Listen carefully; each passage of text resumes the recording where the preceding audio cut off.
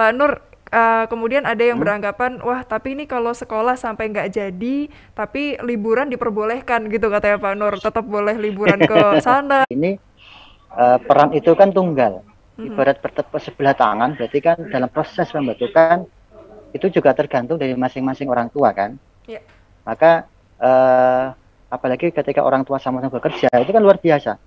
Bisa jadi yang satu ya memang dibiarkan atau ya memang betul setengah-setengah atau memang betul di perfect betul. Maka ini menjadi kekhawatiran ke depan ketika ini berpandemi itu berkelanjutan, maka bagaimana nasib anak bangsa ini selanjutnya? Mungkin itu, Mbak.